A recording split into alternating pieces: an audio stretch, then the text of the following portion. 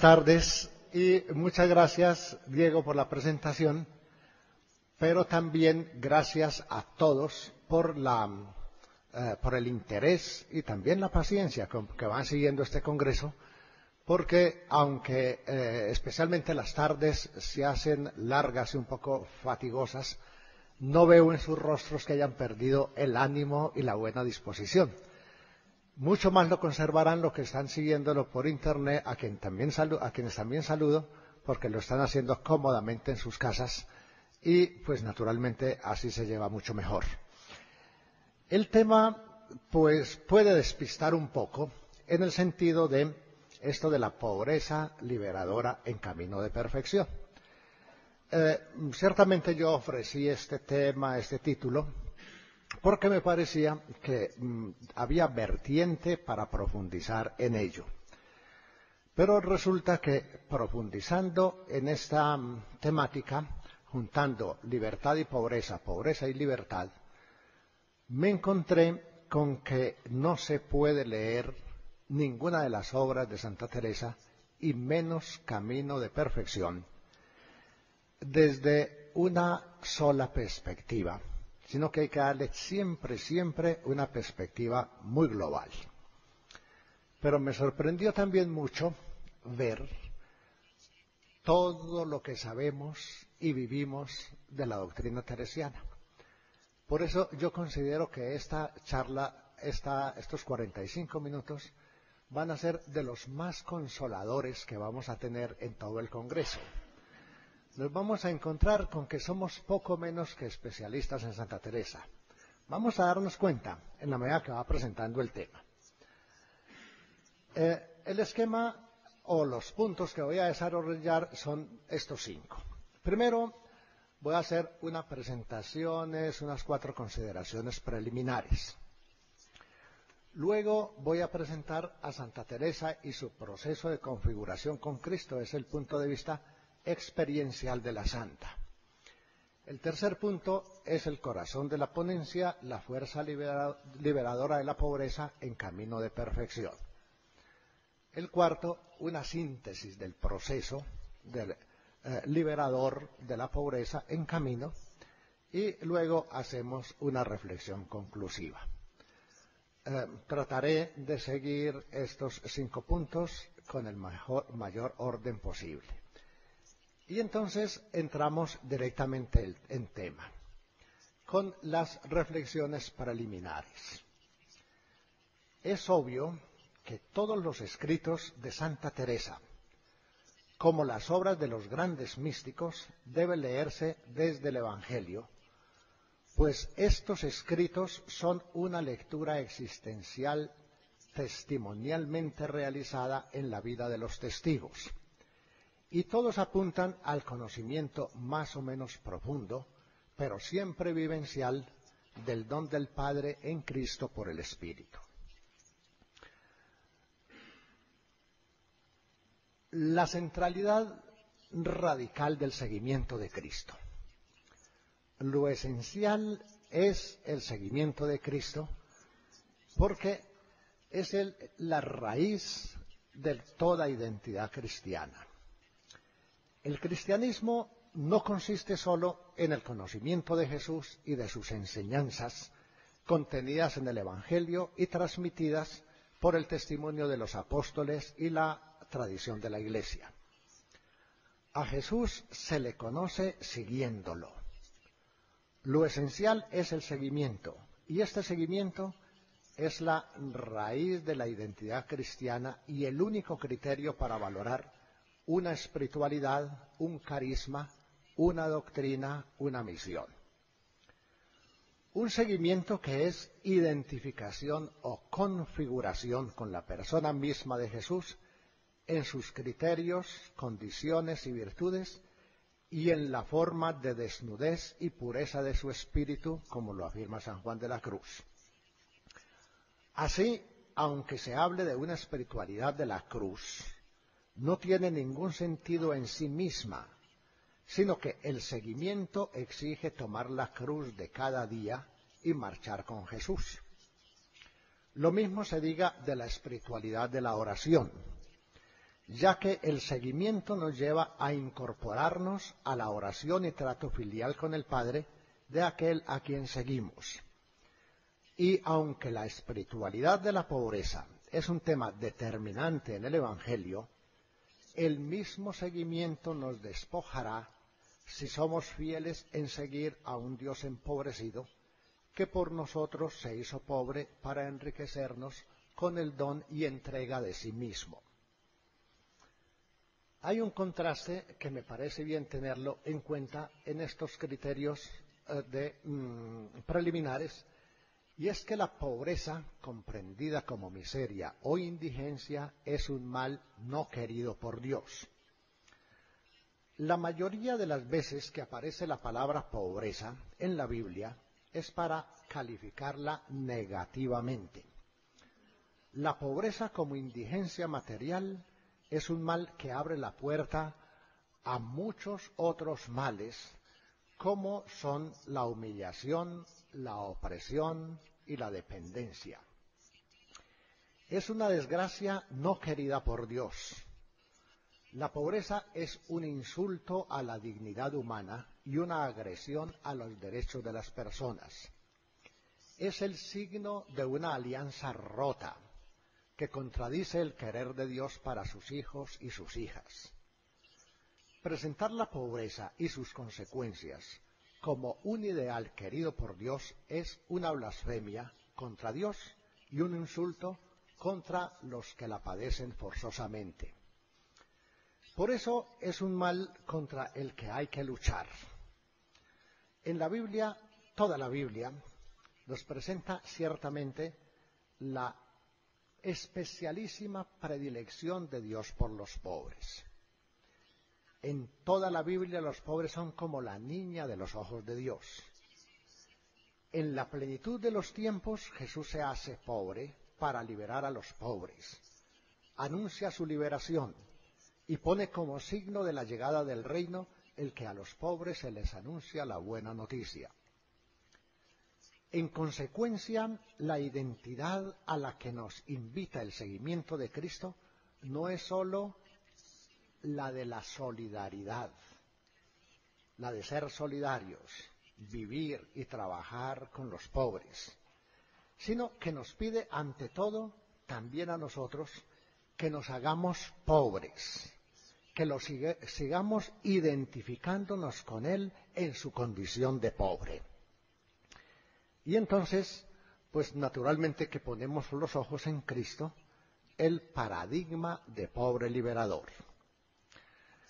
Jesús se nos revela en el Evangelio ante todo como un hombre libre y olvidado de sí, no como fruto de unas circunstancias que le vinieron de fuera y que le fueron impuestas, sino como una opción cuidadosamente elegida, libremente elegida, conscientemente elegida, amorosamente asumida.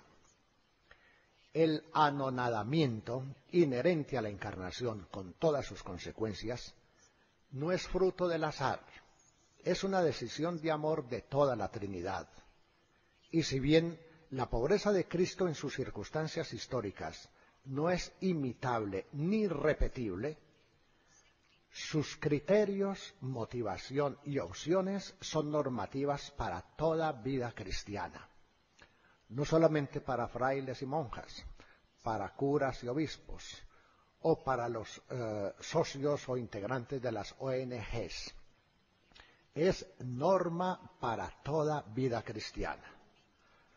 Su total y libre abandono en las manos del Padre, la elección voluntaria de su historia personal, del lugar y circunstancias de su vida, de las personas que constituían su entorno y de, las que le siguieron, su identificación con la figura del siervo, el asumir su camino de kenosis progresiva, el abandono de los demás, lo mismo que su elección igualmente libre de ser el amigo universal, sin monopolizar ni, ni dejarse monopolizar por nadie, así como el evitar un liderazgo fácil, hacen de Cristo el verdadero revelador del amor entregado del Padre, que acoge a los pecadores y los colma de su misericordia, privilegia a los pobres y hace bienaventurados a todos los que se identifican con el estilo de vida de su Hijo muy amado.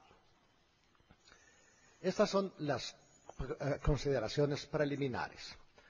Ahora vamos a, pasar al eh, respaldo experiencial.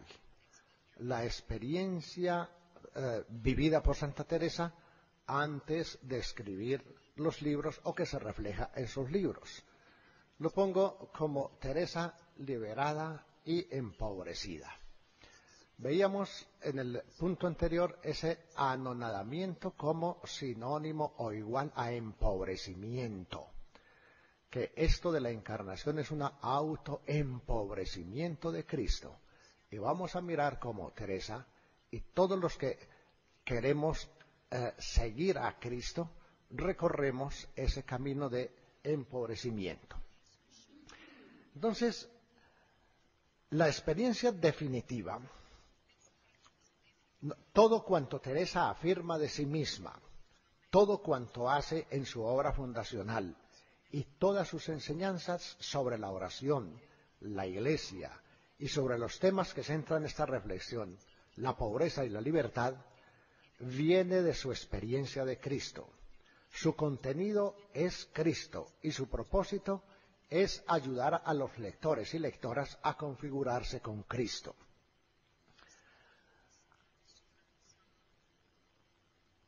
Toda la experiencia, testimonio y doctrina de la santa es la confesión de lo que ha aprendido de Cristo. Para el caso concreto que nos ocupa, en Cristo aprendió Teresa lo que es la libertad y la vivió. También lo que es la pobreza y la vivió. No sólo como un ejercicio ascético, sino especialmente como una forma concreta de ser libre y de vivir en libertad. Un conocimiento que interesa no es el resultado de la precaria ciencia bíblica y teológica que pudo tener a través de sus muchas consultas a letrados y confesores, sino de un encuentro en la fe y en el amor propio de la sabiduría del Espíritu y de la contemplación humilde. La cristología teresiana es una cristología contemplativa que lleva a la praxis de la imitación. Y precisamente esa es la gran propuesta teresiana, con todas las virtudes, muy especialmente subrayada en el de la pobreza, es parezcámonos en algo a este Señor nuestro. Y el parecernos en algo es saber cómo vivimos nosotros la experiencia de em-, empobrecimiento voluntario, libre y amoroso del que lo deja todo por hacerse uno de tantos. La misma santa tiene en un primer momento pues eh, mm, una eh, experiencia propia de libertad en la medida en que ha entrado en comunión con Cristo y va caminando con Él en creciente unión con Él. La experiencia definitiva que determinó para siempre el estilo de vida, oración y acción testimoniado por Teresa de Jesús fue la constatación en su existencia real de la fuerza liberadora de la misericordia de Dios, hecha concreta para ella en el encuentro con Cristo.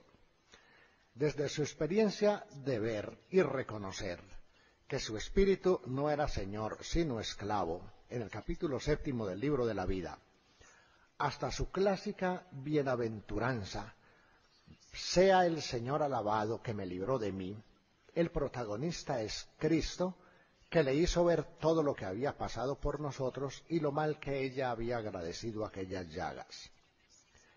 Es cierto que Teresa se ha debatido en una lucha sin cuartel, haciendo hartas veces tan gran fuerza que le costaba harto de su salud.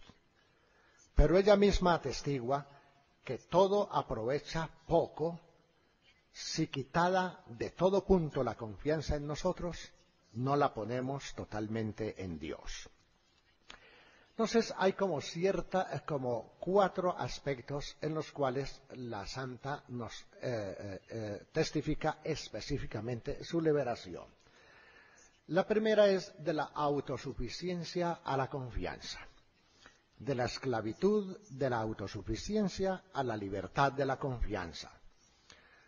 Por eso, la más honda experiencia de libertad teresiana, y la que más le costó, casi 20 años, fue el paso de la autosuficiencia a la confianza, de la fuerza a la gratuidad, del fariseísmo latiente a la humildad creyente.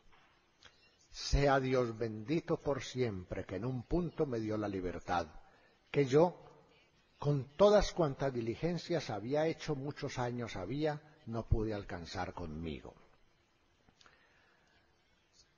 De la esclavitud del señorío social a la libertad de la fraternidad evangélica. Dada la peculiaridad con que la familia Cepeda y Ahumada se insertó en la sociedad abulense, era muy difícil sustraerse a las exigencias de la honra que marcaba el código social del momento. La honra se fundamentaba básicamente en la pureza de sangre y en la riqueza económica. Estos dos elementos daban señorío, prestigio social, poder, influencias, y engendraban y fortalecían los diversos estamentos sociales. Solamente después del encuentro con Cristo adquiere Teresa la claridad necesaria para percibir la contradicción subyacente a todo tipo de señorío Aleccionada por la suma esclavitud a la que se sometían sus amigas las señoras muy honradas, como doña Luisa de la Cerda, percibe claramente la mentira social de donde procedían aquellos señoríos postizos. En lo poco que se ha de tener el señorío en este contexto, y termina aborreciendo del todo ser señora, ya que ha comprobado que personas semejantes no son sino esclavas de mil cosas de la esclavitud del tener a la libertad de darse. Teresa de Ahumada no fue ajena al poder y seducción de la riqueza. Tampoco ignoró lo necesario que es el dinero y lo mucho que puede conseguirse con él. Enterada como estuvo de aquel largo y costoso pleito de ejecutoria de hidalguía de su familia, vio claramente que el dinero podía comprar hasta la honra procedente de la limpieza de sangre. Por eso sabe bien que honras y dineros casi siempre andan juntos y que quien quiere honra no aborrece dineros. En su encuentro y progresiva configuración con Cristo, descubrió lo efímero, relativo y transitorio que es el dinero en sí mismo, lo engañosa que es la felicidad y honra que proporciona, y cómo la única forma de devolverle a los dineros su verdadera función es la libertad frente a la riqueza, el señorío con que se maneja y el fin para el cual se emplea. Simultáneamente, la santa fue descubriendo la fidelidad de Cristo, la firmeza de su palabra, la gratuidad de su misericordia. El proceso es claro. Teresa ha entrado contemplativamente en el Evangelio y en él se ha encontrado con un Jesús de Nazaret pobre, tan pobre como libre, tan señor como desprendido de todo, hasta de su propio cuerpo. Por eso su primer movimiento es imitarle. Paréceme que aunque tuviera muchos tesoros, no tenía renta particular ni dineros escondidos para mí sola, ni se me daba nada solo quería tener lo necesario. Es el mismo Señor a quien quiere imitar el que le da un poquito a entender los bienes que hay en la santa pobreza. Y aunque ella confiesa que no sólo no había sido pobre de espíritu, aunque lo tenía profesado, sino loca de espíritu, atestigua con fuerza que la pobreza es un bien que todos los bienes del mundo encierra en sí. Con este respaldo experiencial de la Santa, pasamos a ver la fuerza liberadora de la pobreza en camino de perfección y la síntesis podría ser esa expresión de abajo. La experiencia teresiana compartida y hecha doctrina. Para presentar el tema de la pobreza y su fuerza de liberación en el testimonio teresiano en general y en camino de perfección en particular, necesariamente tenemos que enmarcarlo en el cuadro más amplio del seguimiento de Cristo, cuyas etapas progresivas, según el Evangelio, son escuchar y acoger la llamada, relativizar, dejar todo, incluidos padres, hermanos, hermanas, relativizar la propia vida, tomar la cruz, vivir con Él y entregar libremente la vida como Jesús. De tal manera que lo que Teresa llama pobreza evangélica es la configuración con la persona de Cristo desde su encarnación hasta la resurrección. Pero una configuración con Cristo no impuesta ni por las circunstancias ni porque otros me sometan, sino libremente por amor a Cristo, por amor a los demás y por el reino. De tal manera que aquí volvemos a retomar uno de los principios uh, preliminares. El seguimiento de Cristo es el marco obligado para la lectura de camino. Dentro de esta, mm, de esta propuesta de lectura de camino, pues naturalmente estamos convirtiendo a camino en un comentario vivo del texto evangélico. Puse este texto de Lucas, aunque tiene muchas presencias en otros capítulos de Lucas y especialmente en los sinópticos. Voy a dejar aquí un tantito de silencio para que lo leamos personalmente si, lo alcanzan a leer. Iba mucha gente acompañando a Jesús, que se dirigió a ellos y les dijo, si uno quiere venir conmigo y no está dispuesto a dejar padre, madre, mujer, hijos, hermanos y hermanas, e incluso a perder su propia vida, no podrá ser discípulo mío, como tampoco podrá serlo el que no esté dispuesto a cargar con su propia cruz para seguirme. Aquel de vosotros que no renuncia a todos sus bienes no puede ser discípulo mío. Advertencia que esto es un pasaje dirigido a todos. Iba mucha gente acompañándolos y a todos les hace la misma invitación. Entonces, los pasos del seguimiento atestiguados en camino de perfección. Y pongo seguimiento, empobrecimiento, porque en esa dinámica estamos, serían estos seis. En primer lugar, escuchar y acoger la llamada. Segundo, dejarlo todo, bienes, deudos. Tercero, relativizar la propia vida. Cuarto, entregar libremente la vida. Quinto, tomar la cruz de cada día. Y sexto, dejar la propia voluntad y tomar la voluntad de Dios. Esta sería la ecografía de un pobre evangélico y un pobre libre. O sea, esta, aquí radica la fuerza liberadora de la pobreza vamos a decir una palabra de cada uno de estos pasos. Llamó a los que quiso. El proyecto de vida propuesta por la Madre Teresa es volver radicalmente al Evangelio, encontrar en él a Cristo, aceptarlo como razón de la propia existencia y asumir como programa de vida la progresiva configuración con él. La primera resonancia bíblica que nos encontramos en la propuesta de camino es el llamamiento. En camino, este llamado, Teresa lo convierte en mandato del Señor, fundamentado en su palabra. Por su mandamiento venimos aquí. Verdaderas son sus palabras, no pueden faltar.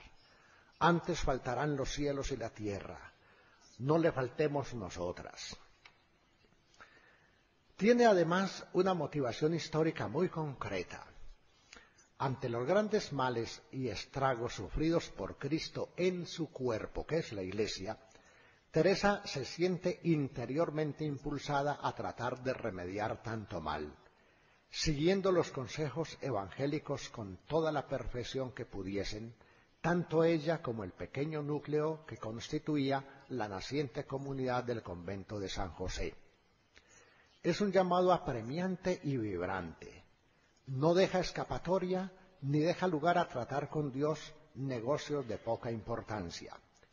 Desde este umbral propone la primera cosa de gran importancia que se debe tratar con Dios, que es la pobreza.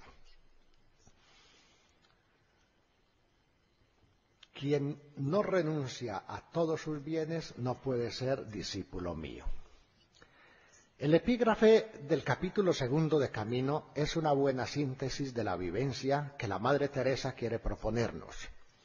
Trata cómo se han de descuidar de las necesidades corporales y del bien que hay en la pobreza. La idea fuerza de la fundadora es contentar al Señor, aunque tenga que perder mil vidas para remedio de las muchas almas que se pierden. Por eso el primer párrafo de este capítulo segundo es bien elocuente. No penséis, hermanas mías, que por no andar a contentar a los del mundo os ha de faltar de comer. Yo os aseguro, jamás por artificios humanos pretendáis sustentaros, que moriréis de hambre. Los ojos en vuestro esposo, él os ha de sustentar Contento él, aunque no quieran, os darán de comer los menos vuestros devotos, como lo, habéis visto por experiencia. Si haciendo vosotras esto murierais de hambre, bienaventuradas las monjas de San José. Esto no se os olvide por amor del Señor. Pues dejáis la renta, dejad el cuidado de la comida, si no, todo va perdido. Esta fue la conciencia que animó al grupo de fundadoras.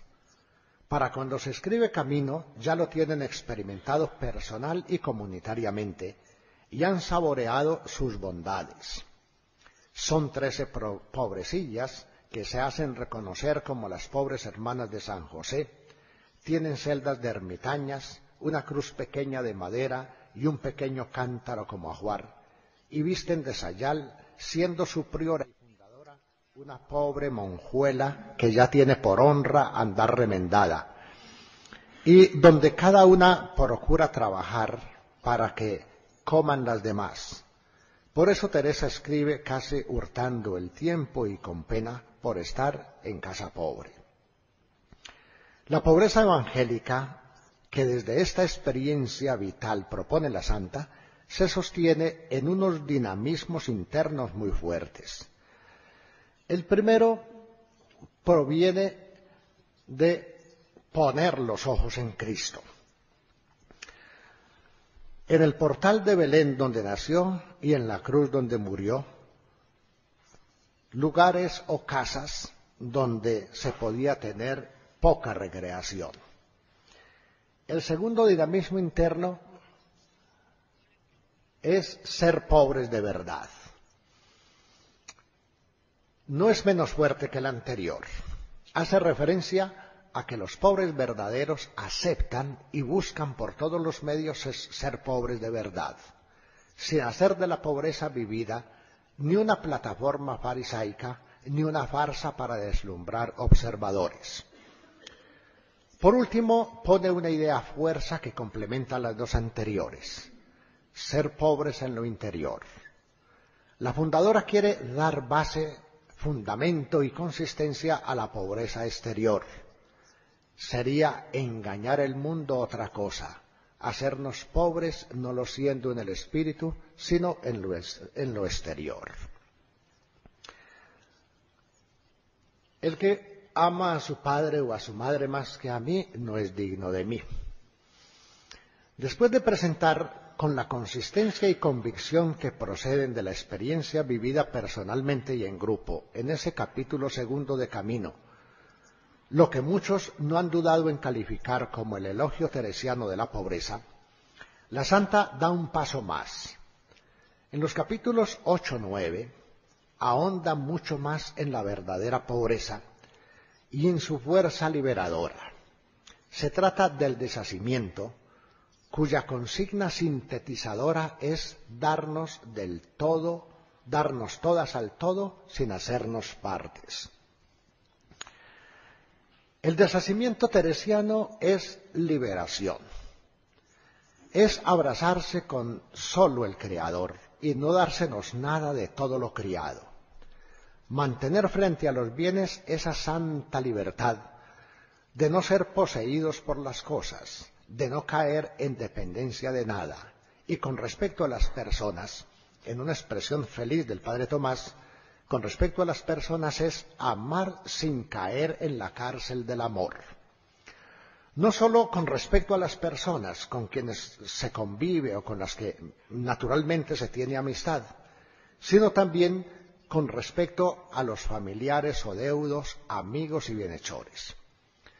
En definitiva, se trata de ser libre para darse, y no a unos pocos en particular, sino a todos como Jesús y a la causa del reino. No se trata solo de, de recibir la libertad, que la Santa dice, el que es esclavo daría todo por conseguir la libertad, pero todo lo que tiene que es nada. Sin embargo, la santa no le importa insistir en que demos todo, sino que seamos libres, con esa libertad profunda, holística de totalidad. Y entonces nos presenta el culmen de esa total libertad, que es lo que en los estudios bíblicos se ha llamado la paradoja cristiana, que es ser libre para darse y hacerse esclavos unos de otros por amor. A propósito, la ilustré con esta mm, eh, representación de la Trinidad misericordiosa, donde aparecen el Padre, el Hijo y el Espíritu Santo, esclavos del esclavo que tienen en el centro, que es el hombre caído. Quien quiera salvar su vida, la perderá. Nada nos serviría escuchar el llamado, dejarlo todo, renunciar a los bienes y a las personas si no renunciamos a nosotros mismos, a nuestra propia vida. Será como el que se acuesta muy sosegado, habiendo muy bien cerrado sus puertas por miedo de ladrones y se los deja en casa. Y ya sabéis que no hay peor ladrón que quedarnos nosotras mismas. Lo primero que hemos de procurar es quitar de nosotras el amor de este cuerpo, porque este cuerpo tiene una falta que mientras más le regalan, más necesidades descubre. Acordaos que de pobres enfermos habrá que no tengan a quien quejarse, pues pobres y regaladas no llevan camino. Remite luego al legado espiritual de la orden, llevándonos a mirar a nuestros padres santos pasados, cuya vida pretendemos imitar. No eran de hierro, sino tan delicados como nosotros. Pero tanto ellos como nosotros podemos comprobar que en comenzando a vencer estos corpezuelos no nos cansan tanto. Puesta esta motivación espiritual pasa a ayudarnos a relativizar nuestro bienestar corporal, lleva a enfrentarnos a un enemigo mucho más poderoso que la santa sufrió bastante y del que puede hablar con sobrada experiencia. Se trata de tener en poco la vida y la honra, no hacer caso del linaje quienes quieren ser verdaderos hijos de Dios, y contra la que escribe verdaderos anatemas. No hay tóxico que tanto mate, es pestilencia de donde nacen grandes males, es una cadena que no hay lima que la quiebre si no es Dios con oración. Para la santa, deshacimiento y humildad andan siempre juntas. Son dos hermanas que no se pueden separar y juntas conceden todo su dinamismo y su fuerza liberadora a la pobreza y nos hacen capaces de asumir todas las dificultades y vencer para siempre el temor. Oh soberanas virtudes, señoras de todo lo criado, emperadoras del mundo, quien las tuviere no tiene a quien temer, porque nada no se le da, no se le da perderlo todo. solo teme el descontentar a su Dios. Llegados a este punto, estamos perfectamente preparados para enfrentar y vencer al último enemigo, la muerte. Si nos determinamos a tragar de una vez la muerte y la falta de salud, nunca haremos nada. Si no nos determinamos a tragar de una vez la muerte y la falta de salud, nunca haremos nada. Se trata de una página inspirada en el más genuino espíritu paulino. Procuren no temerla y dejaros toda a Dios, venga lo que viniere. ¿Qué va en que muramos? y creed que esta determinación importa más de lo que podemos entender. Pues vencer un tal enemigo es gran negocio para pasar la batalla de esta vida. Es fuente de libertad y sosiego. Quedaremos señoras también de la muerte como Jesús. En resumen, entregada la libertad por amor, lo menos que nos queda es ofrecer la vida el verdadero amador y orador, es decir, el verdadero discípulo seguidor de Jesús, no ha de volver la espalda a desear morir por él y pasar martirio. Pero este martirio, que incluye dar la vida, se da ordinariamente en la vida cotidiana, asumiendo no la cruz a nuestra medida fabricada por nosotros, sino la de cada día este es el ordinario vivir de quien voluntariamente y por amor se ha hecho pobre y sigue a Jesús. Finalmente, si alguno quiere venir en pos de mí, niéguese a sí mismo, tome su cruz de cada día y sígame.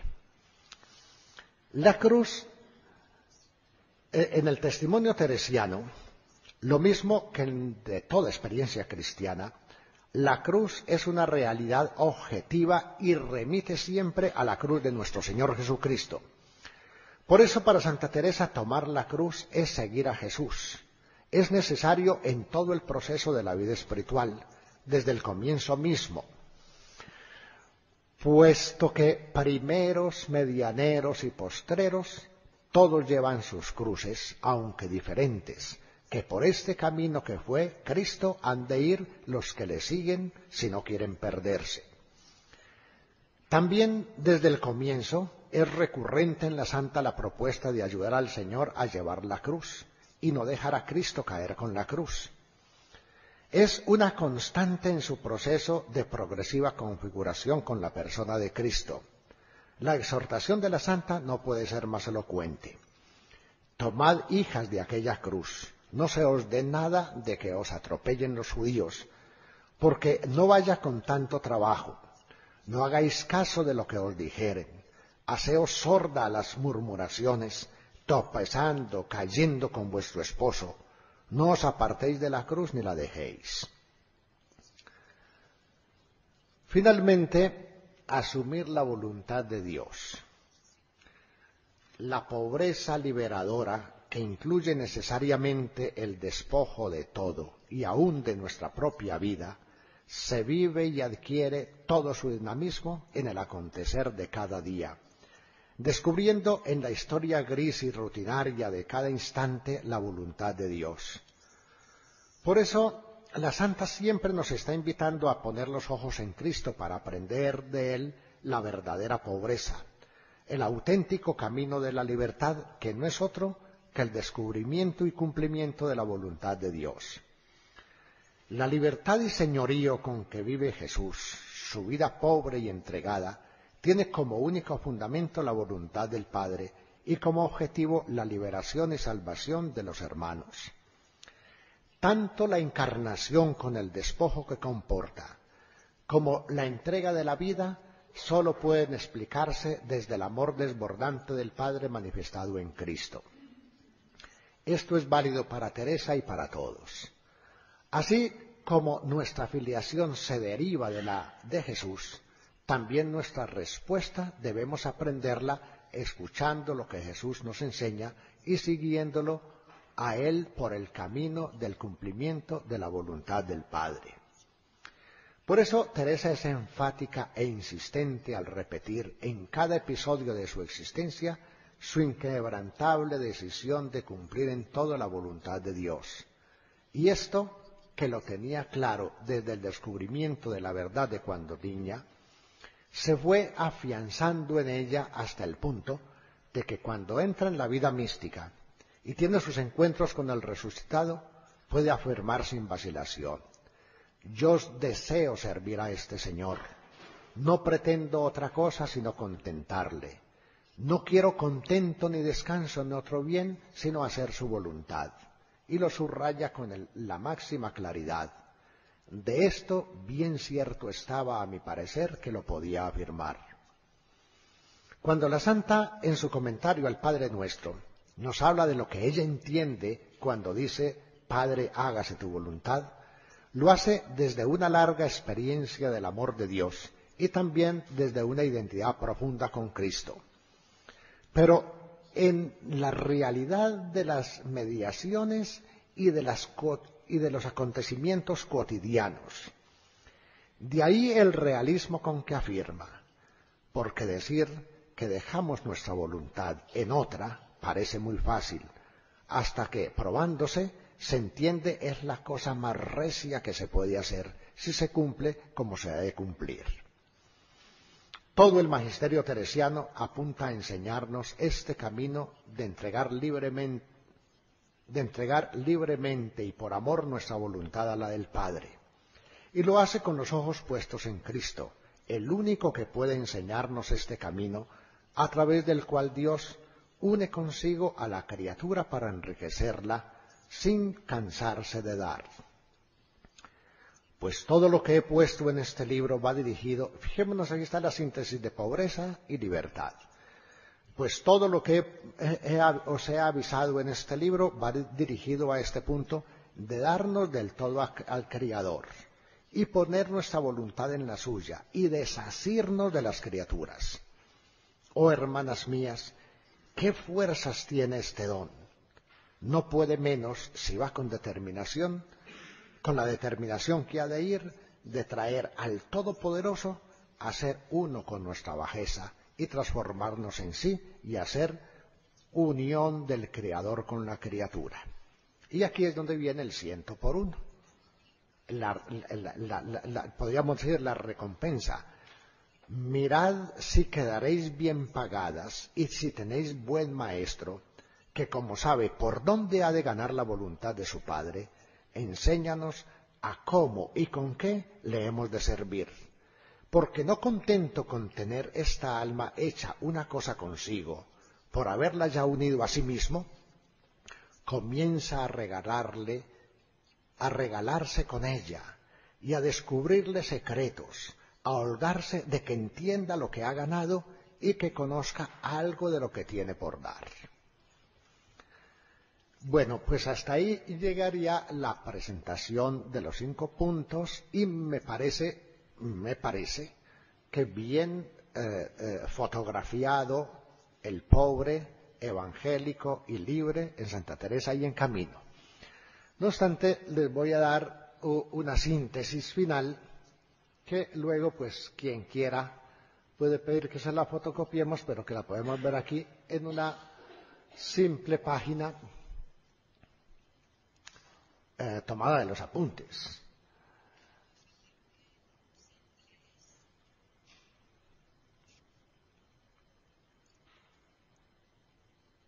Eh, pobreza liberadora en camino de perfección. Síntesis. La única pobreza realmente liberadora es la de Cristo, a quien se conoce en la apertura sincera a su persona y a su palabra en la contemplación humilde y en el seguimiento fiel. La propuesta teresiana en camino de perfección es un llamamiento testimonial y doctrinal a configurarnos con la persona de Cristo en su pobreza y en su libertad. Las bases en que fundamenta la Santa esta propuesta son, primero, la experiencia personal. Cristo ha salido de su encuentro y le ha dado la libertad de la esclavitud de la autosuficiencia a la libertad de la confianza, del señorío y honra de la sociedad a la libertad de la fraternidad evangélica, de la esclavitud del tener a la libertad del darse. Con base en esta experiencia personal nos propone el camino de configuración con Cristo, que es el mismo camino del Evangelio. Sencillamente es el mismo camino del Evangelio testimoniado con dos experiencias, la personal suya y la del grupo. Entonces, acoger y responder al llamado, que como decíamos para la Santa es un mandato, y la confianza plena en la persona de Cristo. Y sobre todo el punto tercero. El punto tercero es el amor de preferencia. Amor de preferencia a Cristo y al reino antes que a los bienes. Amor de preferencia a Cristo y al reino antes que a la propia honra, prestigio, reconocimiento o poder. Amor de preferencia a Cristo y al reino antes que a la propia vida. Amor de preferencia a la voluntad del Padre antes que a mi propia voluntad. Y tomar la cruz de cada día y cada día seguir a Jesús. Y ahí en esa síntesis tomo este, eh, este mm, número mm, sexto del capítulo 26 que todos lo sabemos de memoria. Pues ¿cómo, Señor, es posible que os dejan solo los ángeles y que aún no os consuela vuestro Padre? Si es así, Señor, que todo lo queréis pasar por mí, ¿Qué es esto que yo paso por vos? ¿De qué me quejo? Que ya he vergüenza de ver de que os he visto tal, que quiero pasar, Señor, todos los trabajos que me vinieren y tenerlos por gran bien, por imitaros en algo. Juntos andemos, Señor, por donde fuereis tengo de ir, por donde pasareis tengo de pasar.